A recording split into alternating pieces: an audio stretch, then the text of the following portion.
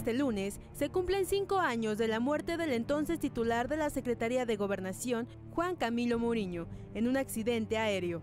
El Airjet 45, en el que regresaba de una gira por San Luis Potosí, cayó en la zona de Lomas de Chapultepec, en la Ciudad de México. Con él viajaba José Luis Santiago Vasconcelos, su procurador de la PGR y principal responsable de la lucha contra el narcotráfico. Uno de los escoltas este, me llegó y me dijo que mi papá había dado instrucciones que me fuera directo a la casa. Entonces ya llegando hacia el camino hacia la casa, pues, con el radio, pues escuchó que había, una, que había caído un avión en reforma. Y hasta como hora y media después, ya fue cuando nos dijeron que, o que sí, que sí realmente iba en el avión y pues que había fallecido. Era el hombre que para efectos prácticos había creado la CIEDO. Contaba con el reconocimiento y apoyo del ejército mexicano y de las corporaciones antidrogas de Washington. Estimado José Luis, no puedo creer que haya pasado un año desde que te vi Felicitaciones en sus operativos contra Ociel Cárdenas y Armando Valencia. Ustedes están haciendo historia en la lucha contra la delincuencia transnacional. Cuenta conmigo para cualquier apoyo posible desde Nueva York. Firma Anthony Plácido, Departamento de Justicia de la DEA. El funcionario que más atentados frustrados había sufrido, el que detuvo a más narcotraficantes y operó su extradición a los Estados Unidos. Me afectó terriblemente enterarme esta mañana acerca de los dos recientes atentados de los que fuiste Tan solo quiero expresar lo afortunado que es México al tener servidores públicos con tu nivel de coraje y dedicación. Sé que para ti estos riesgos son algo que has aceptado como parte de tu vida diaria. Aquellos de nosotros quienes somos lo suficientemente afortunados de no sufrir estos riesgos, solo podemos expresar nuestra más profunda admiración. Phyllis Pacman, Embajada Británica en México que se vino desempeñando durante varios años, se lograron eh, muchísimos resultados.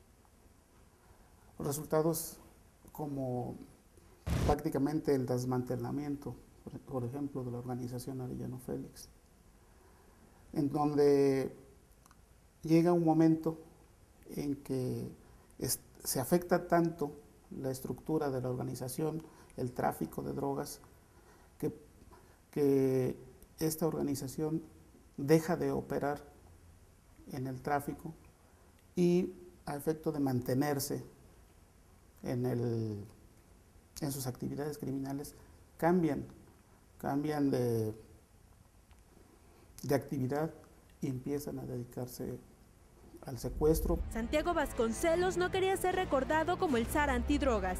Su objetivo era la Suprema Corte, pero no como una meta personal.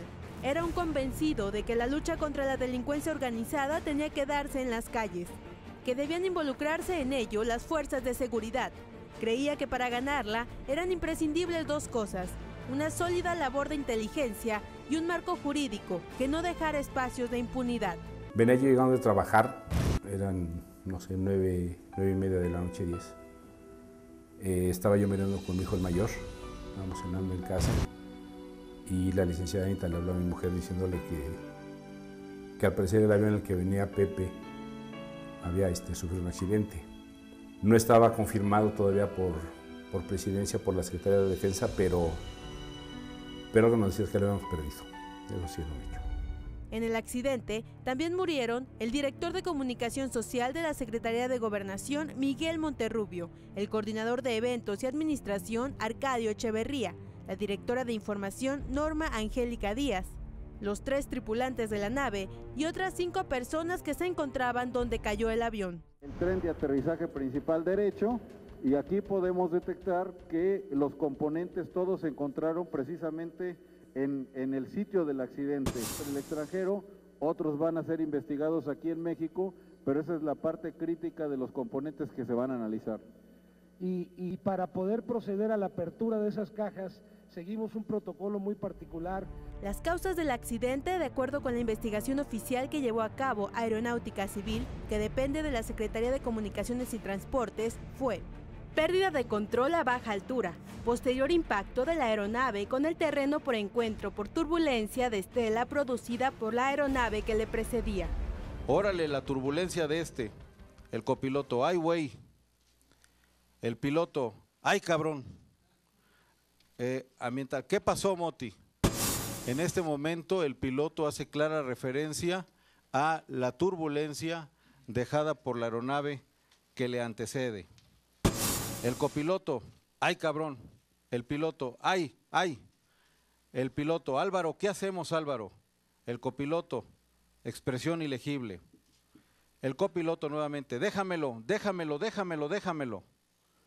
El piloto, tuyo Álvaro. El piloto aparentemente, hijo de tu puta madre.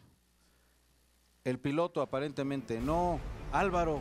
Extraoficialmente, se habló de la impericia de los pilotos que incluso se dijo estaba poco familiarizados con la operación del aparato, un Learjet 45 serie 028 matrícula XC-VMC. Este fue su primer y último vuelo del aparato, después de haber sido sometido a un mantenimiento mayor del 21 de octubre anterior en la empresa Standard Aéreo de Houston, Texas. Un accidente que cimbró al país y marcó un antes y un después en la administración del expresidente Felipe Calderón.